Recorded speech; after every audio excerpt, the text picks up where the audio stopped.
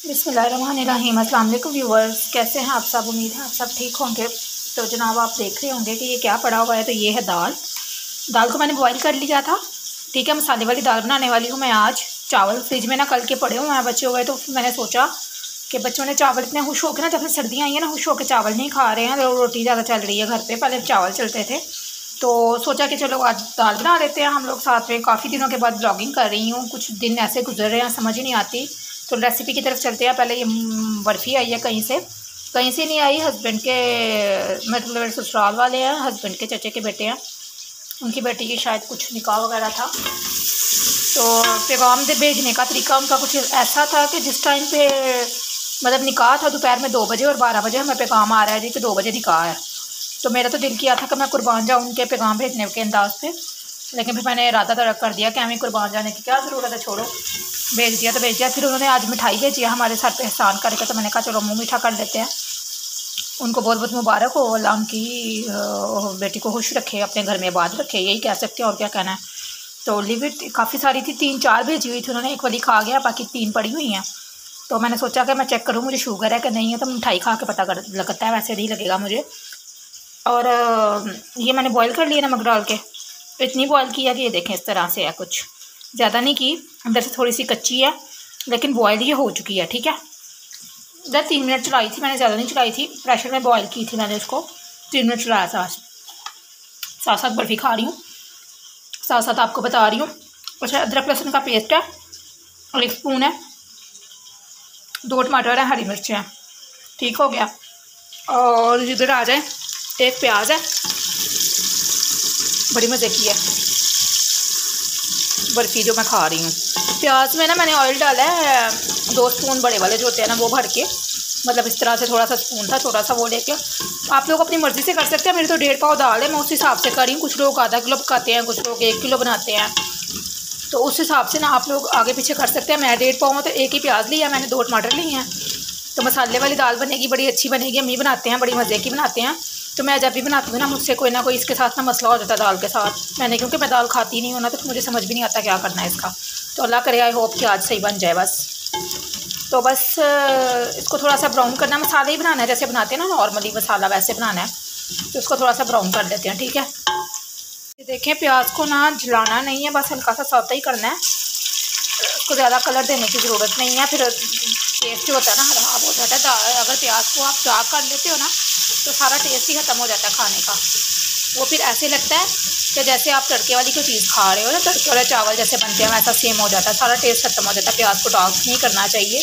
आजकल टिकटॉक पे मैं देख रही हूँ, बहुत सारी लेडीज़ खाना बनाती हैं और प्याज को इतना डार्क कलर दे देती हैं, बिल्कुल ब्लैक सा जैसे चावलों को देते हैं ना, तड़का लगाते हो वैसे। और मैं हैरान होती हूँ कि उनका वो कहती है, जी, बड़ा अच्छा खाना बना है। तो मैं कहती हूँ टेस्ट में चेंज नहीं आता होगा। अब ये तो खाने से पता चलेगा कि कैसा बनता है, लेकिन प्याज को डार्क नहीं करना चाहिए। प्याज की तो सारी उसकी खूबसूरती उसका जायका सारा कुछ खत्म हो जाता है। अगर उसको हम जो है ना डार्क कर लेते हैं डार्क सा कर लेते हैं डार्क सा नहीं करना चाहिए। इसी तरह मैं भून लूँगी इसको अच्छे तरीके से। अदरक, लहसुन डाल दिया, टमाटर डाल दिया, हरी मिर्चें एक दो डाल दूँगी, बाकी बाद में डाल देंगे जो बड़ी बड़ी कटी हुई है ना, वो बाद में डाल देंगे छोटी सी मैं साथ ही डाल देती हूँ। और अगर नीचे लगने लगे तो आप इसमें पानी डाल सकते हैं। ये देखें, मेरा मसाला लगने के करीब था तो मैंने थोड़ा सा इसमें हल्का सा पानी छींट दिया था। जैसे मसाला बनाते हैं, नॉर्मली वैसे ही बनाना है। नमक, मिर्च डाल देंगे, हल्दी डाल देंगे। मिर्च डाल रही हूँ मैं थोड़ी सी और हल्दी वगैरह डालेंगे। जैसे नॉर्मली आप लोग खाना बनाते हैं ना, वैसे सेम करना है। इसका। ठीक है? वैसे भी मैंने एक बार इसको बनाया हुआ मेरे चैनल पे। आई थिंक इसकी रेसिपी होगी, आप लोग चेक कर सकते हैं, अगर फुली आपको चाहिए तो। ठीक है? ये तो मैं ऐसे ऐसे आपको दिखा रही हूँ। दादर मिर्च डालिए इसमें। हल्दी डाल देंगे और नमक डाल देंगे। तो ये देखिए थोड़ी सी अजवाइन डाली है मैंने, ठीक है? और नमक जो है ना, वो मैंने दाल में भी डाला हुआ था, इसमें भी थोड़ा सा डाल लिया ताकि तेज़ ना हो जाए। और अब मैं मसाले को अच्छी तरह से ना भून लेती हूँ, और इसमें मैंने एक चीज़ शामिल किया वो है मेरा फेवरेट मोस्ट फेवरेट पिसा हुआ धनिया आप उसको खाने में शामिल करते हो ना घर पे जो हम पीसते हैं ना धनिया, वो बाज़ार का नहीं। तो आपके खाने का टेस्ट जो है ना दोबाला हो जाता है। आपको किसी किस्म के बाज़ारी मसाले की ज़रूरत नहीं रहती। पहले भी मैं अपनी वीडियोस में बता चुकी हूँ तो अभी बता रही हूँ। कि उसके बगैर तो मुझे मज़ा आता ही नहीं है। गर्म मसाला मैं डालूँ, ना डालूँ, खाने में पिसा हुआ धनिया मैं ज़रूर डालती हूँ। तो अब मैं इसको दो मिनट देती हूँ ताकि ये जनाब थोड़ा सा हो जाए मतलब ऑयल छोड़ दे, मसाला भुन जाए, फिर दाल डालेंगे। तो दाल का ये था कि दाल तो तकरीबन गल गई हुई थी इसमें थोड़ा पानी था। अगर आपका पानी खुश्क हो जाए, फिर भी वेल एंड गुड मतलब आपने तो उसमें मसाले में डालनी है ना, ख़त्म बात। और अगर पानी है तो पानी समेत डाल दीजिएगा, उसका पानी नहीं फेंकने की ज़रूरत। मेरा हल्का सा पानी रह गया था। तो मैंने पानी समेत ही प्रेशर से निकाल ली थी, उसी प्रेशर में मैंने खाना रखा है क्योंकि ज़्यादा बर्तन धोने से ना मुझे वैसे ही मौत पड़ती है। और आजकल तो है भी सर्दी। तो अभी मैं बर्तन धो के ना सिंक फ्री करके आई, आटा गूंदा कशप ने आटा गूंदा था, ये पड़ा हुआ बर्तन बस एक ही। बाकी मैंने सारा धो के ये धनिया साफ़ करने वाला है। साफ़ करके हांडी में डालना है, इसमें डालेंगे, कुछ हांडी में डालेंगे। ये पुराना थोड़ा सा पड़ा हुआ था, ये भी मैंने मैं चीज़ें ज़ाया नहीं करते। इसी में काटेंगे, इसको धो के फ्रिज में पड़ा हुआ था तो फिर उसमें डाल देंगे। तो बस ये थोड़ा सा जो मैंने छीला विला लहसन वसन वो पड़े हुए हैं ये भी उठा लेती हूँ। बाकी किचन तकरीबन साफ़ है। बस यही जो है ना एक बर्तन गंदा रह गया और हमेशा किचन में कोई ना कोई बर्तन होता ही है चाहे आप जो मर्ज़ी कर लो। ठीक है? जब तक हमारा मसाला भुन रहा है ना तब तक बाहर जाके मैं आपको कशफ का सूट दिखाती हूँ। कशफ को कशफ की फ्रेंड ने दिया था कुर्ता। करम आ, करम लाई सॉरी ये देखिए अल करम का ये कुर्ता है। करम लाई स्टोर है ना हमारे इधर तो मुझे ना मेरे ज़ुबान पे बार बार वही चढ़ता है। अल करम का ये कुर्ता है और इसका डिज़ाइन ये कुछ इस तरह है। ठीक है। अच्छा डिज़ाइन था तो अभी मुझे कह रही थी सिलवाना है तो मैंने इसको श्रिंक किया है क्योंकि ये थोड़ा खद्दड़ है। तो मुझे ये लग रहा था कि पता नहीं ये श्रिंग होगा, नहीं होगा, कुछ समझ नहीं आ रहा था तो मैंने अपने अंदाजे से ना कर लिया। तो इसके साथ की ना मैचिंग लेके आनी है, अभी मैं मैचिंग लेने जाऊँगी इसकी बाज़ार से लेसिंग वगैरह लेके आनी है, फिर जाकर ना दर्जन को दूँगी कि वो फ्रॉक सिलवाना चाह रही है। ये उल्टा तरफ़ है सीधी तरफ़, अंदर की तरफ़ है। जब सी के आएगा ना, फिर मैं आपको दिखाऊँगी, ऐसे कुछ समझ नहीं आएगा आपको। डिज़ाइन इसका अच्छा है काफ़ी। तो ये मेरे हाल से आई थिंक बाजू हैं इसके, ठीक है? फ्रंट होगा और पता नहीं बैक किधर है। अच्छा मुझे इसकी ना कुछ समझ नहीं आई थी, बड़ा वो दाल चावल टाइप कुर्ता है तो कुछ समझ नहीं आ रही थी। तो दर्जन को मैंने भेजा था, उसको बोला था, इसका फ्रॉक बनवा दो तो वो कह रही थी, इसकी डिज़ाइनिंग वगैरह मुझे लेसिंग वगैरह जो आपने करवानी है, जो भी करवाना है, वो मुझे ला दे।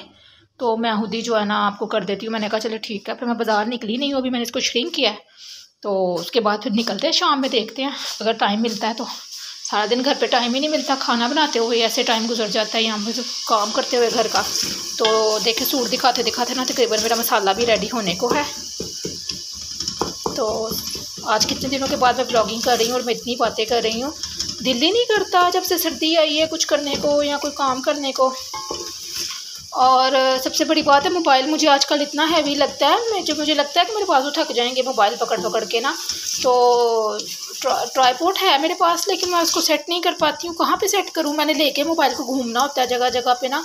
तो अगर मैं किचन में सेट करूँगी तो किचन में ही तो खड़े रह के बातें नहीं कर सकती मैं आपके साथ। अभी देखे मसाला भूनते भूनते ना मैं बाहर जाके आपको सूट भी दिखा के आ गई हूँ कि ये देख ले जनाब। सूट भी लिया हुआ पड़ा हुआ है। सूट नहीं है, कुर्ता है। बाकी इसके साथ टाइट्स वगैरह या कुछ शलवार उसने जो मैचिंग करना होगा ना, वो बाद में करेंगे। तो दुपट्टे शॉल्स वगैरह तो ऑलमोस्ट घर पे होती हैं। तो चलो उसका एक सूट और बन जाएगा सर्दी का। मैंने भी एक दो सिलवाया था, मैं आपके साथ शेयरिंग करूँगी, आपको दिखाया नहीं है, दिखाऊँगी आपको वो भी मैं। तो ये देखें, ठीक है, मसाला भुन गया मैं इसमें दाल डालूँगी तो थोड़ा सा और भून लूँ। फिर डाल दिया दाल इसमें। ये देखें, मसाला हमारा भुन गया अच्छी तरीके से। और अब मैं ये दाल शामिल कर रही हूँ इसमें। ठीक हो गया। ठीक है। और ये दाल अगर आपने बॉईल की हुई है ना, फिर तो आपको हार्डली दस मिनट ही लगेंगे। वही बस मसाला भूनना और बस, और कुछ भी नहीं करने की ज़रूरत। अब इसमें से पानी सुखाना है हमने बस, और कुछ नहीं करना। नमक चेक कर लीजिएगा। और मैं इसको ढाँप के दे रही हूँ। रख रही हूँ थोड़ी देर के लिए, ताकि देखते हैं। अगर इसमें ये पानी सूख जाता है और नमक वगैरह चेक कर लेंगे, मिर्च वगैरह देख लेंगे। थोड़ी सी ना मैंने ली है कलवंजी। जिसमें मौत के अलावा ना नबी पाक का फरमान है कि कलवंजी में ना, मौत के अलावा हर चीज़ का इलाज है, शफाई है, ठीक है? तो इस तरह के खानों में ना मतलब दाल में और आलू में, इस तरह की सब्जियों में थोड़ी सी जो होती है ना सूखी सूखी सी, उनमें ये चीज़, ये जो वो होती है ना कलवंजी बड़ी अच्छी लगती है, बड़ा अच्छा टेस्ट देती है तो ये आप शामिल कर लिया कीजिए, वैसे भी थोड़ी सी कर सकते हैं। अजवाइन भी कर सकते हैं, हाजमे के लिए अच्छी होती है, वो भी मैं करती हूँ, हर खाने में शामिल। थोड़ी सी क्वांटिटी में मतलब इसी तरह जैसे चंद दाने लिए हैं, इस तरह चंद दाने अजवाइन के डाल देते हैं। चीज़ हज़म हो जाती है तो ये मेरी दाल तकरीबन गली हुई है, बस इसमें मैंने ढाँप के ही रखना है, जिसमें से कसर है ना ख़त्म हो जाएगी और पानी भी सूख जाएगा और दाल हमारी रेडी हो जाएगी, ठीक है? फिर उसके बाद इसको धनिया वगैरह जो भी डालना होगा बाद में डालेंगे। चीज़ों से देखें, दाल हमारी रेडी हो गई है। ये देखें, पानी उसने घी छोड़ दिया, पानी सूख चुका है दाल का, दाल बड़ी मज़े की बनी है। और आप लोग ये मत बोलिएगा कि नरम हो गई है ऐसे हो गई है, दाल मैं नरम ही बनाती हूँ क्योंकि सहज जो है ना बच्चे नहीं खाते, फिर बच्चों के पेट में दर्द स्टार्ट हो जाती है तो वो नहीं खाते। थोड़ी इसी तरह की करके बनाते हैं, बड़ी अच्छी दाल बनी है। वो जो थोड़ी अलग सी हार्ड हार्ड होती है ना, वो मैं नहीं बनाती हूँ। एक बार मैंने बनाई थी तो किसी बच्चे ने नहीं खाई थी तो मैं इसी तरह की बनाती हूँ थोड़ी सी नरम कर लेती हूँ, ताकि बच्चे जो है ना आसानी से खा लें, बच्चे रोटी के साथ खा लेंगे और माशाल्लाह से बड़ी ही मज़े की और टेस्टी दाल बनी अब हम इसमें धनिया वगैरह डाल देंगे। ठीक है? तो इसको मैं बंद कर दूँगी चूल्हे को। ठीक है? इसके साथ ही वो में याद रखिएगा, अपना ख्याल रखिएगा। मिलेंगे नेक्स्ट वीडियो में या व्लॉग में कुछ न्यू रेसिपी के साथ या किसी और बात के साथ। तो इन ठीक है? इंशाल्लाह मैं रूटीन के साथ अपने व्लॉग चढ़ाती रहूँगी। अब मैं कभी कभी वीडियो अपलोड करती हूँ कभी कभी नहीं करती। तो इसके साथ ही करते हैं एंड अल्लाह हाफिज़। अस्सलाम वालेकुम। आज मैं आपके साथ एक बहुत ही मज़ेदार रेसिपी शेयर कर लगी हूँ, जो कि मुझे उम्मीद है आपको पसंद आएगी, क्योंकि मेरे तो ये बहुत फेवरेट है और मुझे वीडियो देख के ही मेरे मुँह में पानी आ रहा है। तो इसलिए ना, इसका नाम है पिज़्ज़ा कटलेट और ये बहुत ही मज़े के बनते हैं। आपको ज़रूर पसंद आएँगे, इसको ज़रूर ट्राई कीजिएगा। पहले इसके लिए मैंने one and half cup chicken ले लिया था श्रेड किया हुआ। इसके बाद जो है मैंने इसके अंदर डाले थे प्याज चॉप किए हुए, फिर मैंने इसमें डाली थी शिमला मिर्च। और ये सब मैंने जो है इंग्रेडिएंट्स नीचे मैंने क्वांटिटीज़ मेंशन कर दी हैं। उसके बाद मैंने पिज़्ज़ा सॉस जो कि मैं आपके साथ शेयर कर चुकी हूँ, इसकी रेसिपी जो है मैं लिंक में डिस्क्रिप्शन में डाल देती हूँ। इसके बाद मैंने इसमें डाला था सॉल्ट और चिली फ्लेक्स डालने के बाद फिर मैंने दोबारा से पिज़्ज़ा सॉस डाल दी थी। आप लोग भी देख लीजिएगा मिक्स करने के बाद लगे तो आप लोग ऐड कर सकते हैं। फिर मैंने डाल दी इसके अंदर कुछ ऑलिव क्योंकि ये पिज़्ज़ा कटलेट है तो पिज़्ज़ा की सारी चीज़ें आएँगी। फिर जो है इसमें डाले आलू, सात सौ ग्राम बॉयल किया बॉयल करके आपने मैश कर देना है। फिर कॉर्नफ्लोर डालना है चिली फ्लेक्स डालने हैं। और आपने जो है इसके अंदर सॉल्ट वगैरह डाल के आपने मिक्स कर देना है। मिक्स करने के बाद आप लोग जो है चेक कर देख सकते हैं कि अगर आपको लगे कि सॉल्ट ऐड करना है तो आप लोग अपने टेस्ट के मुताबिक कर सकते हैं। इसके बाद जो है आपने बनाना है लिक्विड बैटर जिसके लिए मैं डालती हूँ मैदा, जिसको ऑल पर्पज़ फ्लोर और वाइट फ्लोर कहते हैं, और पानी आप अपनी ज़रूरत के मुताबिक डाल के इसको मिक्स कर ले और आपका बैटर तैयार हो जाता है। अब जो है आपने सैमलिंग करनी है कटलेट्स बनाने हैं आपने, जिसके लिए पहले आपने जो है इस तरह से आपने गोल सा बना लेना है आलू का, फिर आपने लगाना है चिकन का मिक्सचर फिर आपने मोजरेला चीज़ ली है। चेडर चीज़ भी यूज़ कर सकते हैं, लेकिन मोजरेला से जो है चीज़ पुल बहुत मज़े का बनता है, जो कि बहुत अट्रैक्टिव और मुझे बहुत अच्छा लगता है। तो इस तरह से आपने जो है कटलेट्स बना लेने जिस तरह से मैं बना रही हूँ, ये हमारे कटलेट्स रेडी हो गए हैं। अब करेंगे कोटिंग पहले जो मैंने लिक्विड बैटर बनाया था, उसमें टिप करना है, उसके बाद आपने ब्रेड क्रम्स में करना है। ब्रेड क्रम्स जो है, मैंने होम मेड ये मेरे सारे जो है कटलेट्स तैयार हो चुके हैं। अब मैंने जो है इसको दस पंद्रह मिनट मैंने रख लिया था ताकि जो है इसकी कोटिंग स्टे करे और ये बहुत ज़्यादा क्रंची बने। अब जो है आपने ऑयल को गर्म कर लेना है अच्छे से, उसको जो है आपने फ्राई करना है। फ्राई करें आप जब तक इसका अच्छा सा कलर ना आ जाए ब्राउन कलर का। और ये देखिए इसका कलर आ गया, बहुत ही चीज़ी थे। इनका जो है चीज़ बहुत ज़्यादा निकल रहा था, बहुत मज़े के थे। मुझे तो चीज़ वाली चीज़ें वैसे ही बहुत पसंद है। तो अगर आप लोग भी चीज़ लवर हैं और पोटैटो लवर हैं तो ये आपके लिए बेस्ट रेसिपी है। ज़रूर ट्राई कीजिएगा, मुझे तो बहुत पसंद आए थे। और अगर पसंद आई है तो मेरा चैनल भी सब्सक्राइब कर दे और मेरी बाकी की वीडियोस भी देखिए, वो भी आपको बहुत पसंद आएगी। अल्लाह हाफिज़।